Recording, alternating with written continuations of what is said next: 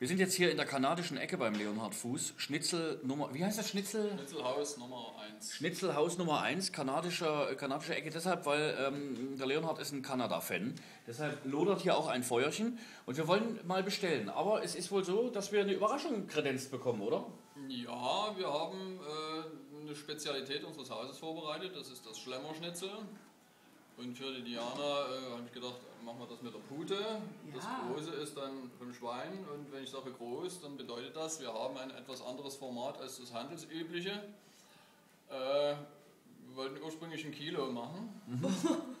aber ich weiß jetzt nicht, ob wir da eventuell ein bisschen runtergehen in Dimension. Aber wir gehen es erstmal an und ihr lasst euch einfach überraschen. Da bin ich mal sehr gespannt. Also man kann auf einen Schnitzel wahrscheinlich so lange draufkloppen, bis es so groß ist wie dieser Tisch hier. Äh, Wir sind sehr gespannt. Ja. Wenn es schmeckt, 500 Euro. Wir prügeln unsere. Schnitzel nicht. Die werden bei uns anders auf äh, Format gebracht. Ach, das ist eine Frage der Züchtung. Geklebt. Aneinander geklebte Schnitzel gibt es jetzt hier in Riesa. Gewalzt. Gewalzte Schnitzel. Wir haben großen Hunger und wenn es schmeckt, 500 Euro. So sei es.